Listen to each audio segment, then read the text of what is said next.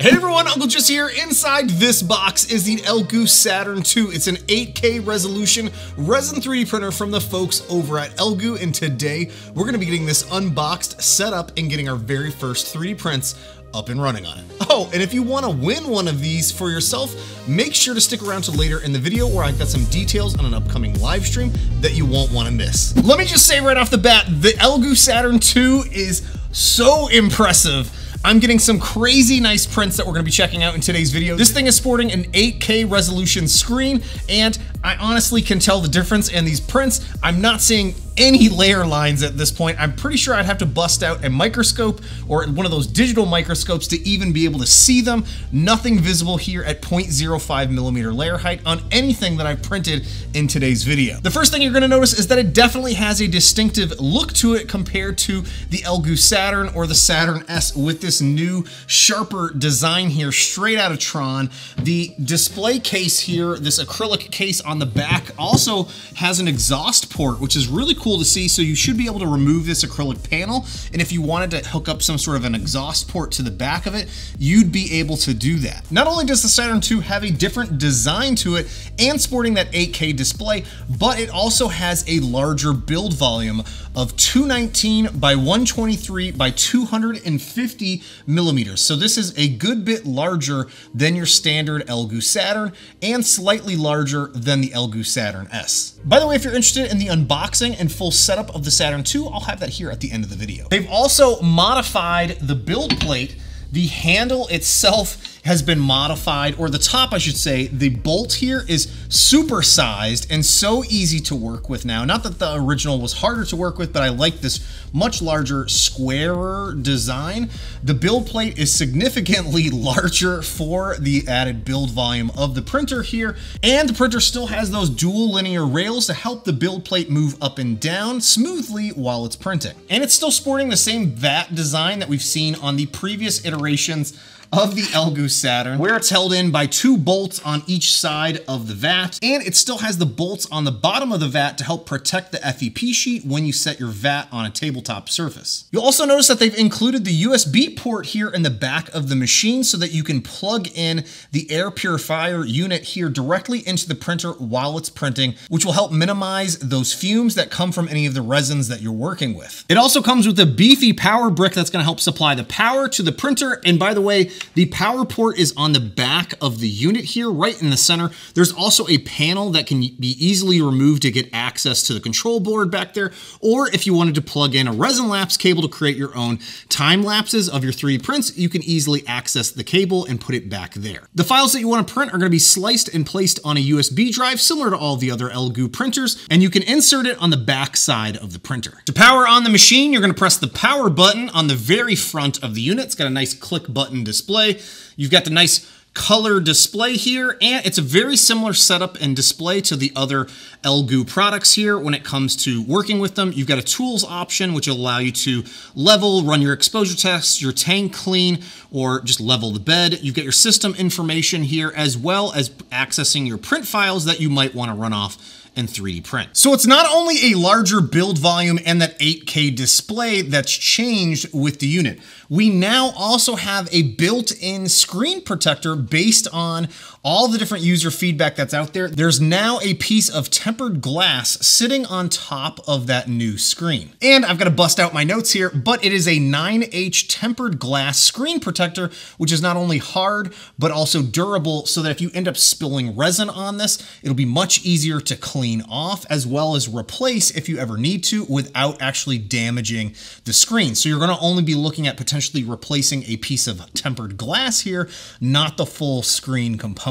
And they've also got a new light source built into the machine. They have a new FCLS display, which again, I'm not the most technical person in the world, so I'm to let this little note here speak for itself. It's a Fresnel colaminating, colami, colaming?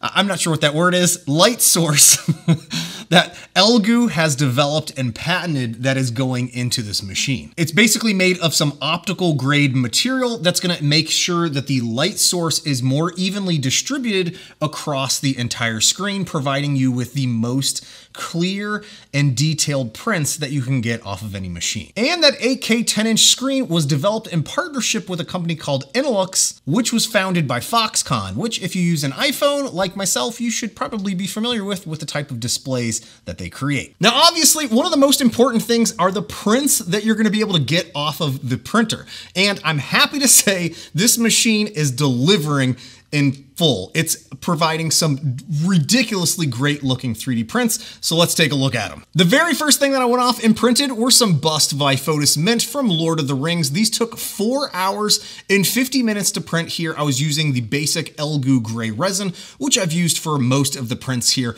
on the printer, printed at 0.05 millimeter layer height. I've had zero print failures so far with this machine, and knock on wood, we can keep that up. And the detail that I'm getting off of these prints is just a little bit ridiculous. I honestly can't see layer lines whatsoever with my naked eye. I'm sure if I had a digital microscope and went in on there, I might be able to see them, but so far, amazing. And I know a handful of you out there are interested in printing miniatures on your Saturns, so here are a handful of miniatures that I printed from Loot Studios at 32 millimeter scale. Again, details look incredible on these. Now, obviously, my cleanup skills could use a little work on these, but I also printed one of the files at a larger scale, they're 75 millimeter scale. And again, the details on this are crisp and clear. And on that same build plate with all those Loot Studio miniatures, I also printed Fotis Mint's latest Lord of the Rings bust, which is the King of the Dead here. And this one honestly might be one of my favorite 3D prints ever. The details on this are just incredible, so crisp and clear.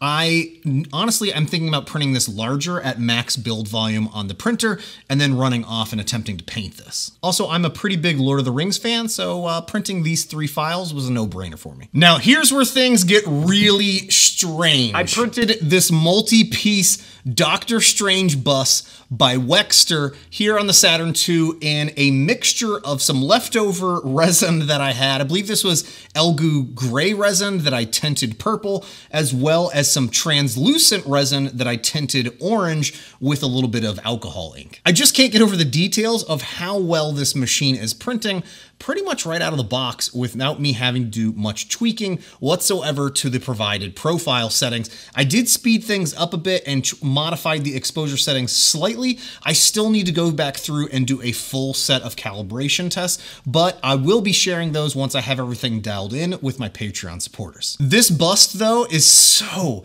friggin' cool. There's so many crazy details on this and the base might be one of the coolest looking statue bases that I've ever seen. And check this out. This is a statue print of Wolverine from Sanix. And Again, details on this are ridiculous. Even though the build volume is enormous on this machine, it took two different prints for me to be able to fully print everything in, that you're seeing here, but it is a really nice large display piece printed at the default scale here that was provided for that statue, all printed directly with Elegoo gray resin at 0.05 millimeter layer height on the Saturn II and it's just over 11 inches tall. Now this is a sponsored video from Elegoo, so I did want to take a moment to say thank you to Elegoo for sponsoring today's video and sending along the Elegoo Saturn II for me to unbox and share with you all here in today's video. Again, this is not a review since it's a sponsored video, but I am seeing some ridiculously good prints off of this machine and hands down, uh, this honestly might be the best Elegoo printer that I've ever had the chance to work with. So far, the Elegoo Mars 3 has been my absolute favorite. It's just uh, my day-to-day -day working machine. But this one right here, oh man, the prints that I'm getting off of this are just crazy good. Crazy good to anything else that I've had a chance to 3D print. Now, if you're wondering, Uncle Jessy, what's the price of the machine? Well, I don't know at the time of recording this, but Elegoo will be making their full announcement for the machine and go live date here in the next few days should hopefully be either today, tomorrow, or the next day here, fingers crossed. They'll be providing more information on the exact pricing and when you'll be able to get your hands on the unit. And I can say for sure, if you're into resin 3D printing, you're probably gonna want to get your hands on this machine. And as I mentioned in the beginning of the video, if you are interested in winning, that's right, winning an Elegoo Saturn II along with potentially winning a handful of other goodies, I'm going to be doing a live stream this upcoming Saturday, the 28th at 9 a.m. Eastern New York time, where I'll be giving away a handful of items that Elegoo is going to be providing. That's right, you'll have a chance to win your own Elegoo Saturn II, and I'll be giving away some other newly announced or not even announced things just yet. So very, very excited for that. I'll also be doing a live stream, uh, unboxing and printing with the Saturn II as well. How often do I stream? Not very often. Is it probably gonna be an absolute disaster of a live stream? I'm sure it will be, but it'll be a lot of fun regardless. And we'll see some really cool things on the live stream, fingers crossed, and some good prints up and running on the Saturn II. I also want to say a big thank you to all of my Patreon supporters for your continued support. I'm actively working on further testing my settings here on the Saturn II, and once I have those available, I'll be sharing those with my Patreon supporters. And if you're interested in my other Resin 3 printing settings, you can find those in my Patreon. So if you're interested in more information on the Elegoo Saturn II, I'll have links to that down below. Plus, if you're interested in watching the full unboxing and getting my initial prints up and running, I'll be starting that right now. Hey, thanks again for watching. I'll see you next time.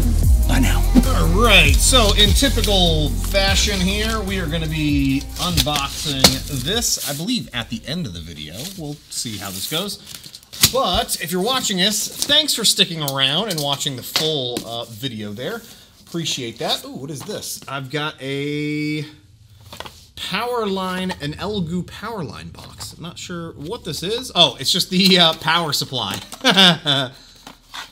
Nice. As usual, Elegoo does a pretty bang up job with their packaging of their printers to make sure that they arrive nice and secure for you. No beating around it. There's the printer itself. Nicely padded inside this big old box here. So this is gonna be, I'm very excited to get this thing opened up and uh, check it out. Very excited about the 8K and a larger build volume than the standard Saturn. This should be a really good option for anyone out there uh, that's wanting a bigger resin 3D printer that can print at really fine details. Well, fingers crossed at least.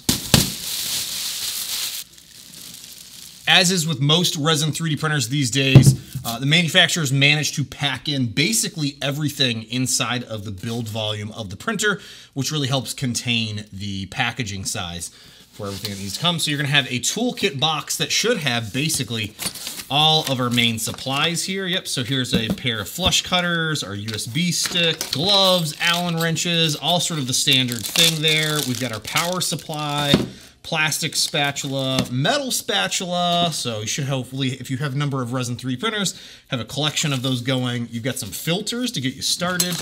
You've got a face mask. We've got a, a quick start guide or manual here. And we have our USB powered air purifier here. So this is great.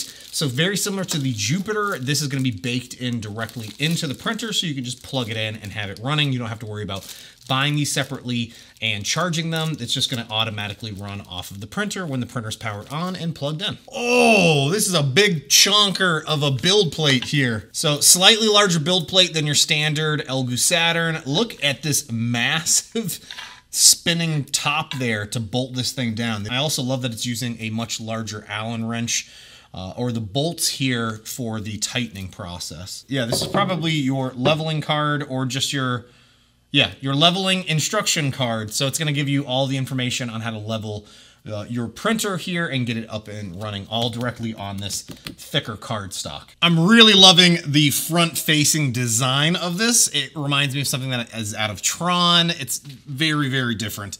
And uh, look at that nice big push button on the front there for the power. That should be fun. USB port here is on the back left side. There is the power supply is gonna go right in the back center there. Uh, also some nice bolts on the back there that I should be able to remove to get a resin lapse cable installed. You know, that's always a priority for me here. And yeah, let's get this thing powered on and leveled and get a print fired up.